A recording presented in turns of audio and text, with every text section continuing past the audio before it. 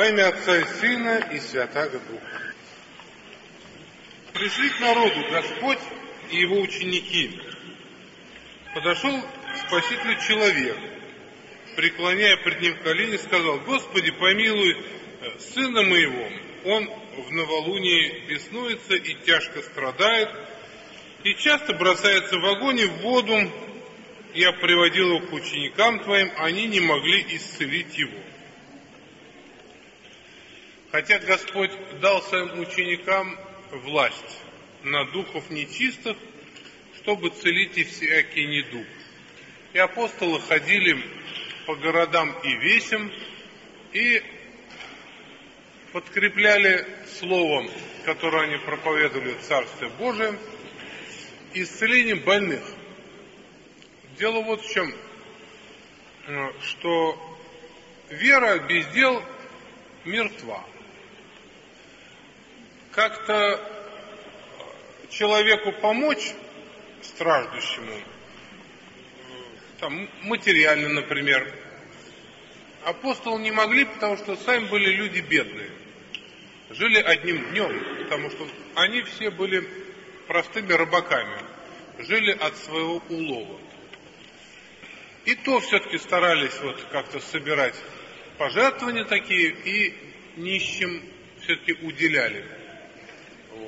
Это, конечно, на Иуду апостол плохо подействовал. Он стал немножко приворовывать.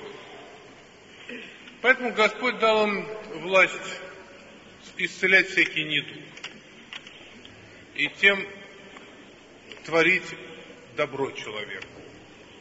Потому что когда человек болен, он страдает, как правило. Хотя есть болезни и такие незаметные, но все равно кончается страдание. Вот. Но бывало и что не получалось. И вот здесь такой же случай.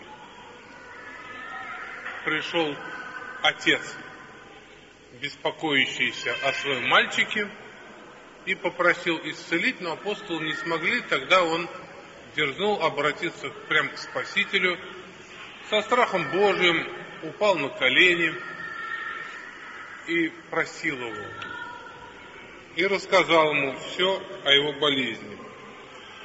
Господь сказал, урод неверный и развращенный, доколе буду с вами, доколе буду терпеть вас, имея в виду, конечно, всю эту нечистую силу, которая мучила отрока. Приведите его ко мне сюда. Запретил Иисус, бес вышел из него, отрок исцелел в тот час. Тогда ученики приступили к Иисусу наедине и сказали, почему мы не могли изгнать его? Иисус сказал им, по неверию вашему, ибо истинно говорю вам, если вы будете иметь веру с горчичное зерно и скажете горе сей, приди отсюда туда, она перейдет, и ничего не будет невозможного для вас. Сей же род изгоняется только молитвой и постом. Конечно, нельзя сказать, что апостолы были э, совершенно неверующие. Нет, вера у них была, и многим они помогали, но недуг оказался слишком силен. Этой веры не было достаточно. Вот это удивительное дело. С одной стороны, вера это не есть что-то такое, какой-то материальный объект, у которого длина, ширина, высота, вес, как ее веру измерить. Но вот вера способна двигать горы. Вера способна, как Господь однажды у одного человека спросил, а веруешь ли ты? Он говорит, верую. Он говорит, все возможно верующим. Ну вот до известного предела. Пророк Илья так веровал, что заранее просил уложить дрова в поленницу, помолился Богу и верил, что Господь не посрамит, Господь огонь с неба не звел, и дрова вспыхнули. Он нисколько не сомневался, что ради спасения Израиля от этих жрецов, валов, Господь э, поможет им. И вот мы видим это чудо. Но ну и в наши времена, не только в те глубоко давние, когда жил пророк Илья, такие э, чудеса совершали. И каждый из нас, он нуждается в том, чтобы Господь вмешивался в его жизнь. И мы просим у Бога, и многое получаем. Но есть некоторые вещи, о которых мы просим, но веры нам не хватает. И мы впадаем в отчаяние. Хоть ищем какого-то человека, чтобы нам помог или за нас помолился, или какую-нибудь святыню, которую бы мы могли приложиться, и так далее, и так далее. А вот Господь отвечает здесь на этот вопрос, что нам не хватает веры, чтобы это изменить. И почему Господь э, не на все наши просьбы немедленно откликается. Э, с некоторыми медлит, а некоторые вообще как-то как будто не замечают, что у некоторых даже складывается впечатление, что Господь вроде и не слышит. Нет. Дело в том, что вот те вещи, которые касаются очень глубоко нашей души, э, Господь попускает тому, чтобы не в раз совершилось то, что мы просим. Потому что они являются источниками нашей молитвы. Представим себе, чтобы человек, ну, чуть подумал, а ему бы все давалось. Ну и кто после этого бы молился Богу со слезами? Никто. Если человек может очень легко устроиться и без всякого труда будет получать просимое, ведь каждый человек грешен, к сожалению, человек от этого быстро обнаглеет. Поэтому Господь вынужден человека смирять. И э, вынужден не сразу давать просимое. Для того, чтобы мы приобрели веру. Потому что это является испытанием нашей веры. Испытанием не для того, чтобы проверить, хотя мы используем то же слово, а испытание для того, чтобы укрепить. Потому что вера, она укрепляется в испытании. И чем больше веры, тем больше благодать Божия. Чем больше благодать Божия, чем, тем человек ближе к Богу. Вот. Поэтому не надо никогда обижаться на Господа Бога, если Он не сразу исполняет просить. Потому что когда мы просим, и Он не исполняет, это по, не, по нескольким причинам может быть. Например, это нам не полезно. Или то, что мы просим, вредно другому или это будет противно спасению души данного человека и так далее, и так далее. Нужно всегда иметь доверие к Богу. Просить у Бога можно и нужно. Но гораздо драгоценнее не то, что мы получим из просимого, а гораздо важнее сама просьба. Вот это обращение к Богу. Вот этот диалог между человеком и Богом, он гораздо важнее конечному результату.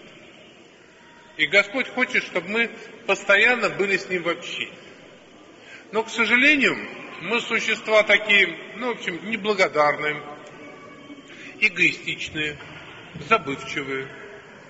И поэтому, чтобы понуждать нас э, к тому, чтобы мы молились, Господь вынужден попускать нам различные скорби, которые понуждают нас и на молитву вот так премудро и ласково он нас обращает к этому.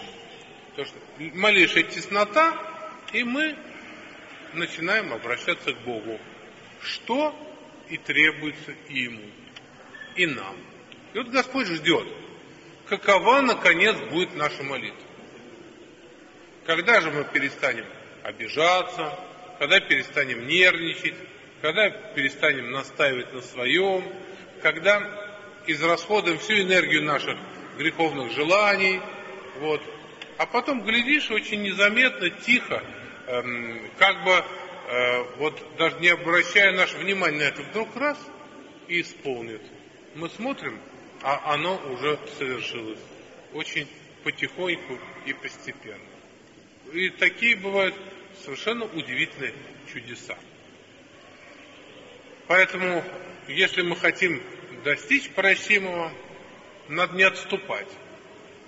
Вот этот человек, когда апостолы ему не помогли, он пошел дальше. Он добился того, чтобы Господь выслушал его и получил просимое. А Господь ответил своим ученикам, что им еще не хватало. Еще не хватало поста. Хотя Господь знает, что мы все люди грешные, но Господь-то свят. И Он хотел бы, чтобы мы, дети Его, тоже были святы. Поэтому каждый человек, если хочет угодить Богу, он должен воздерживаться от греха. Поэтому мы должны все идти путем воздержания. И Господь сказал, род все изгоняется молитвой и постом. Вот. Поэтому обязательно нужно нам уметь воздерживаться. Не только телесно, но и духовно. А Евангелие это завершается тем, что Господь сказал им, Сын человеческий предан будет в руки человеческие, и убьют его, и в третий день воскреснут. И они весьма опечалились. Ну, мы знаем, что печаль их была недолгая, и они скоро забыли об этом. Поэтому Господь много раз им об этом говорил. Напоминаю, что цель христианской жизни – это не только от Бога получать всякие земные блага.